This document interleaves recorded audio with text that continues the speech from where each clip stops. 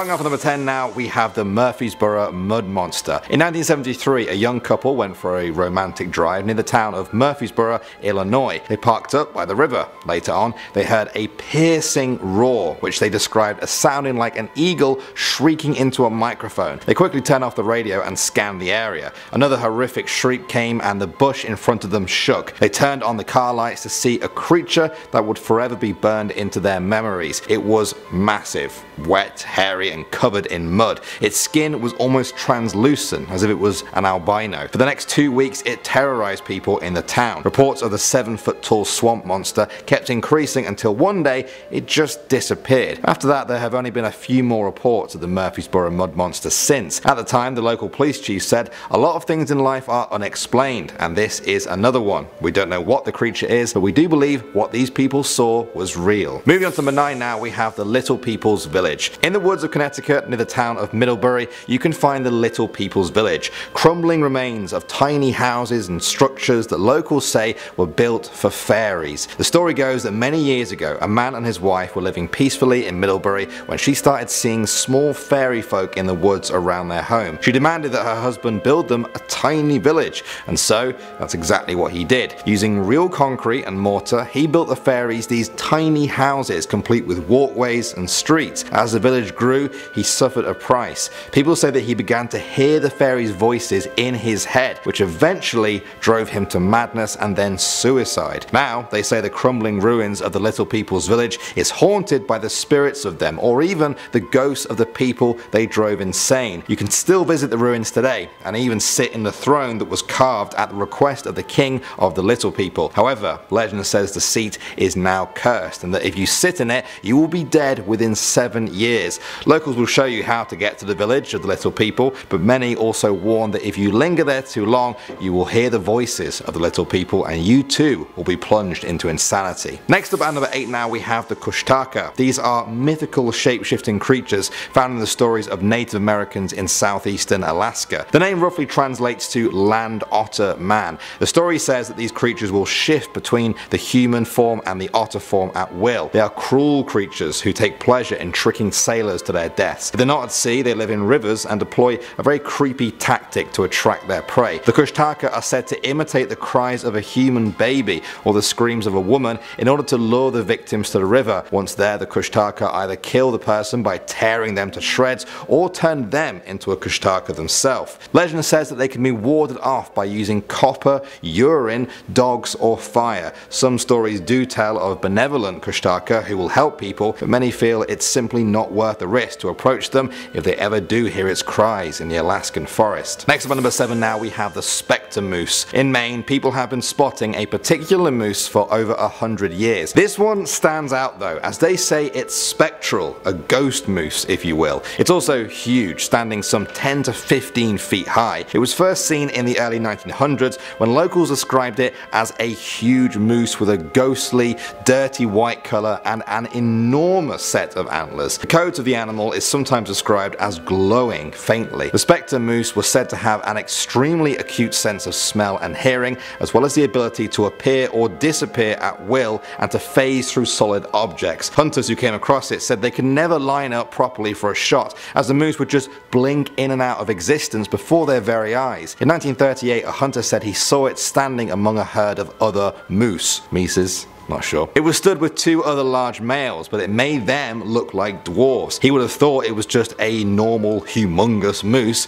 if it wasn't for the strange white glow around its body. Moving on to number 6 now we have Bete Grise. In Michigan, on the beaches of Lake Superior, is a place where the sand is said to sing. Local legend says that a musical voice emanates from the sand, the voice of a Native American maid who lost her love to the Great Lakes and still calls to him from the shore when visitors play the sand. How exactly do you play the sand? Well, they say the sand can be made to sing by pressing down on it with the palm of your hand or a piece of bark. It loses its magical properties though when removed from the beach. I wasn't too sure what to make of this one at first, but I've seen a few videos on YouTube now and it definitely makes a very strange noise. Perhaps you guys check it out and see what you make of it.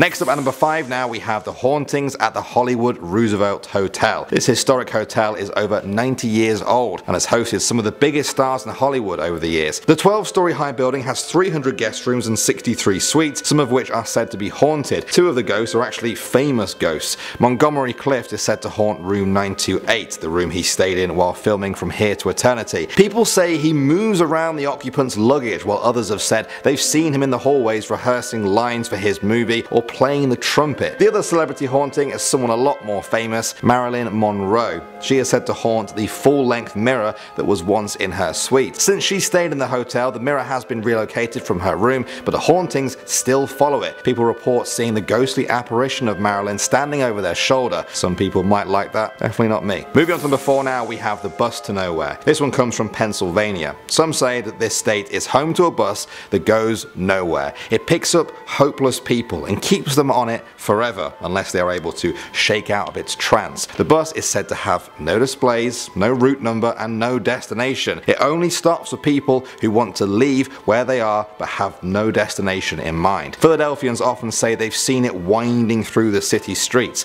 Some people also call it the wandering bus or simply zero. People say that once you're on the bus, you sit like everyone else, staring out of the window, wrapped in your own thoughts, desperate to get away from whatever pain and despair is in your life. You can pull the cord anytime when you're ready to disembark, but be warned. Legend says that time does not move the same on the bus to nowhere. Your trip could have lasted minutes, days, months, or in some cases, years. The only silver lining is that when the passengers finally do disembark, they find themselves exactly where they're supposed to be. Next up at number 3 now we have the Snallygaster. This is a mythical dragon-like beast said to inhabit central Maryland. It was first described by German immigrants who called it the Schnellergeist, which translates to quick ghost. It's been described as being half bird, half reptile and with a strange metallic beak lined with razor sharp teeth. Some even say it has octopus-like tentacles. It swoops down silently from the sky and carries its human victims off to its den where it then sucks them dry of blood. Newspaper reports from February and March 1909 describe encounters between local residents and a beast with enormous wings, a long pointed bill, claws like steel hooks and an eye in the center of its forehead. They said its screech sounded like a locomotive whistle. Now other than the humans it hunts, the Snallygaster is also said to have one mortal enemy, the Dwayyo. The Dwayyo is reported to be a mammalian biped that looks like a wolf but stands like a human. It's been reported all over Maryland and locals have said they've seen vicious battles between the two creatures. Moving on to number 2 now we have Huggin Molly. You might think her name sounds quite nice Everyone needs a hug from time to time, probably not from Molly. Generations of people from Alabama have grown up with this very creepy legend. They said Molly is a giant ghost, at least 7 feet tall, who wanders the streets of Abbeville, Alabama. Late at night she can be seen dragging her long black skirt as she goes. If you see her, run. Because if she sees you, she will chase you and she will get you. Once she does, she picks you up with her huge arms and gives you the tightest hug of your life while screaming in your ear. They say the horrible sound she makes never leaves you. There have been no reports of hugging Molly ever killing someone, but her attacks are enough to strike fear into the hearts of everyone around. And finally at number one, we have the Carter brothers. In New Orleans in the 1930s, a young girl ran into a police station begging for help. She said that two local businessmen John and Wayne Carter had been keeping her hostage and feeding off her blood. She showed them the cuts on her wrist, not quite enough to kill her, but just enough to extract blood from. The police rushed to the apartment to find four other women tied to chairs with their wrists slit in a similar fashion. In another room, they also found 12 bodies that had been drained of their blood. The police staked the place out and waited for the men to return. When they did, it took eight police officers to hold them down and restrain them. Their strength seemed superhuman. The pair were executed for their crimes and buried in a sealed tomb. Years later, another member of the Carter family died. They opened up the tomb to lay them to rest and found that the bodies of John and Wayne Carter were gone. No remains, no clothes, no trace that they have ever been there at all. New Orleans became gripped with the legend of these vampire brothers who could escape death itself. To this day, many sightings of the brothers have still been reported, especially around the apartment building that they once called home. Or perhaps they still do. They've just learned their lesson to keep things more hidden. Off number 10 now we have the skunk ape.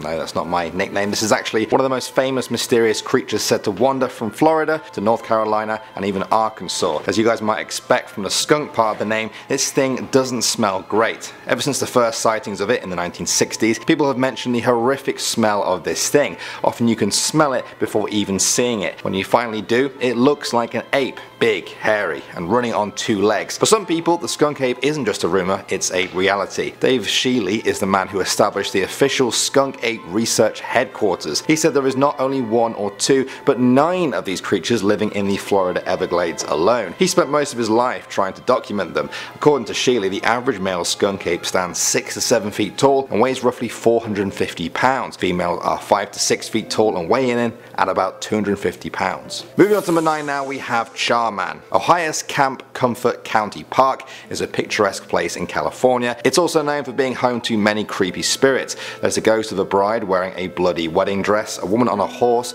reenacting her own death for eternity, and even a headless motorcyclist. However, none are as terrifying or as famous as Charman. Ever since a fire in 1948 killed a number of people there, there have been reports of this hideous figure wandering the area. He's said to have skin burnt to a crisp and noxious fumes pouring out of him. Some people go even further and say that this creature isn't even human at all. They say Charman is a beast, an entity that has visited people a number of times and it always goes the same way. They say their homes are engulfed in thick black fumes that send them to sleep. Just before losing consciousness, they see Charman walking towards them. When they wake up, there will be a small fire nearby, a reminder that Charman has paid a visit. Next up at number 8 now, we have Turnbull Canyon. They say death awaits everyone at Turnbull Canyon. Located in Whittier, California, the canyon is known as a pretty dangerous place, as it is thanks to the mountain lions and rattlesnakes that call it home. Some people believe that the most dangerous thing there though is the paranormal activity. It's said that the Gabrielino Native Americans called this place the place of the devil. The Spanish killed many of them who refused to convert to Catholicism. Some say their tortured souls now haunt the canyon.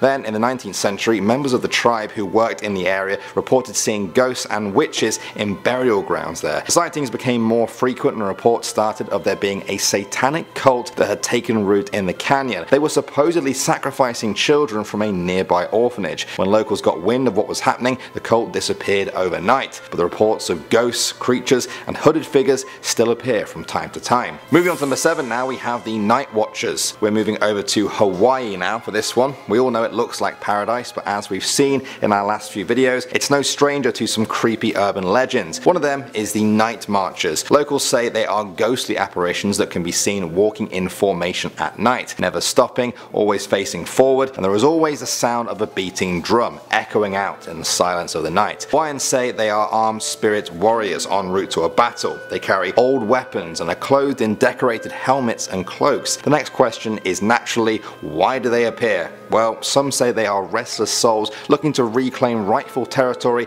or replay a battle gone wrong, hoping this time they can do it right. Or perhaps it's a simple ghost tale of avenging their own deaths. The creepiest theory I heard though is that they're searching for an entrance to the next world. Instead of just wandering aimlessly for it like other ghosts, they do it how a soldier knows best, in a focused, methodical manner. There are signs that the night marchers are out on the Hawaiian Islands. They are recognized by their raised torches and repeated chants. Sometimes footprints have been found, even though the night marchers are said to float a few inches off the ground. Moving on to number 6 now, we have the Voodoo Queen. Louisiana is a place steeped in voodoo history. For people in New Orleans, few stories rival that of Voodoo Queen Marie Laveau. She was said to be a prestigious woman who worked as a hairdresser in the city. She chatted to every customer she had, not just for the sake of it, but to get information. Eventually, she learned the secrets of everyone in the city, man and woman, rich and She used this information to manipulate her enemies through voodoo. It's said she gained the power of immortality from a demonic force known by the name of Papa Legba. She wanted to do this so that she could kill innocent beings and seek revenge on those who had wronged her. Others say that she never murdered anyone and used her voodoo skills to unite people. She also blended Catholicism and voodoo to form a religion that is still practiced in the area today. She died in 1881 at the age of 87, but the story did not end there. According to local legend, she returns to life once a year on St. John's Eve to lead the faithful in worship. If you're ever in New Orleans on that night, don't be surprised if you see a ghost of the Voodoo Queen looking for her followers. Moving on to number 5 now, we have the Rougarou. We're staying in Louisiana now for this one. The Rougarou is a werewolf creature that has been sighted across French Louisiana for centuries. The creature is said to have all the familiar tropes of a werewolf, huge, leering, covered in fur, and ready to tear any human to shreds. It differs from a classic werewolf though, in that the Rougarou is said to have a genetic disorder rather than catching its disease from someone else or being cursed into it by a witch. A Rougarou is a totally normal person until one day when their condition is just turned on. Their body is enlarged and they develop an insatiable craving for raw meat. They will remain in this painful state until they complete their transformation and there's only one way to do that, to take a bite of human flesh. Those who have seen a Rougarou describe it as huge, standing between 7 to 8 feet tall with massive sharp teeth and deep glowing red eyes. It becomes its animal form on the night of a full moon. For many people, the Rougarou is far scarier than a typical werewolf because the person doesn't even know they are one until it's far too late. It could be your friend, your family member, it could be me, or it could even be you. Next up at number 4 now, we have the Skinwalkers. In traditional Navajo culture, the Skinwalker is a witchcraft practitioner who wears the skins of various animals. A Skinwalker can morph into a number of different creatures, including coyotes, wolves, bears, crows, and owls. In the past century or so, those outside of the Navajo people have also reported seeing Skinwalkers. They've been described as half-human monstrosities who run on two legs at insanely fast speeds. One woman claimed that a skinwalker appeared on a Navajo reservation land. It ran alongside her car at 60 miles per hour, darted in front, and then disappeared into the night. They're often said to let out a screeching howl of laughter as they run circles around terrified people. Sightings like this have led many people to become interested in skinwalkers and want to interview Navajo tribes people to find out more about them. The problem is, there is a deep superstition among the Navajo people when it comes to talking about skinwalkers. Many of the elders believe it's not good to talk or even hear about skinwalkers, otherwise you will attract them to you. Let's hope we don't do that after discussing them in this video. Next up number 3 now, we have Stow Lake. Stow Lake lies in Golden Gate Park in California. It's said to be home to a ghost that not only appears to visitors, but can also be summoned by them. According to locals, the ghost of Stow Lake was a mother whose baby fell in into the lake. Now they say that she can be summoned by standing on the edge of the lake and saying exactly these words. White lady, white lady, I have your baby. You will have to repeat it three times and then she will appear. The best place to do this is said to be next to the Pioneer Women and Children statue. That in itself is said to be quite a spooky statue as it changes expressions at night. If she deems you worthy enough then she will appear to you and immediately ask you for her baby. If you say that you have the baby, she will haunt you until the day you die. If you say you don't, she'll drag you down to the lake herself. Coming at number 2 now we have the legend of Chloe. This is said to be the ghost of a girl that haunts Myrtle's plantation in LA. One day a teacher took a picture with one of her students on a field trip there. It has since become famous among the paranormal community. Behind them there appears to be the ghost of a girl standing in the window. She appears to be looking directly into the camera. The owners say this is Chloe and it's not the first time that she's been seen. The picture was sent to the Society of Psychical Research in England, founded in 1882, claimed to be the oldest and most prestigious paranormal research group in the world. They found nobody had tampered with or edited the photograph, leading to many people saying this is proof of Chloe's existence photograph has now been sent around the whole world, always with a request for an explanation, but so far none have emerged. And finally number one now we have the Devil Man of Algiers. We're returning again to Louisiana for this one. Algiers is the oldest neighborhood in New Orleans. This story dates back to 1938 when reports of a man terrorizing couples spread around the city. When asked to describe the man, some details were disputed, but one thing everyone agreed on was that this man was undoubtedly, categorically, the devil. He was described as having eyes like a chicken, with bright pink star-shaped ears and long black horns. He also rode on thin air and shapeshifted while announcing himself as the devil. The most common reports involved him terrorizing bars, attacking women, and appearing before local couples. People who saw the devil man say they always felt a sense of oncoming death or dread, that they even saw their lives flash before their very eyes. Perhaps the most scary story comes from a young couple. They said as they were traveling home one evening, a strange person tried to to stop their car. They slowed the car and asked what he wanted. He asked for a ride to a nearby town. The couple felt uncomfortable though and so they politely declined. Later, as they drove down the highway, they saw the same man walking along the side of the road. They drove past him, but after just 10 minutes, there he was again, walking by the side of the road. Again, he asked them to stop and requested a ride, and again they refused. When they saw him again, he changed into the devil before their own eyes. They sped off again, and then there he was, this time riding a brown horse. They rushed to tell the police, who went to investigate. The police saw him and requested that he stops. When he didn't, they fired shots into him. He jumped off the horse and sprayed the bullets back at them, laughing and rubbing his hairy hands together. He was brought to jail where he quickly slipped out of his cell and into New Orleans legends. Up number 10 now we have the Grunch. This one comes from Louisiana. In the early days of New Orleans there was a road called Grunch Road that went deep into the swampy woods before coming to a dead end. That is where the Grunch people lived,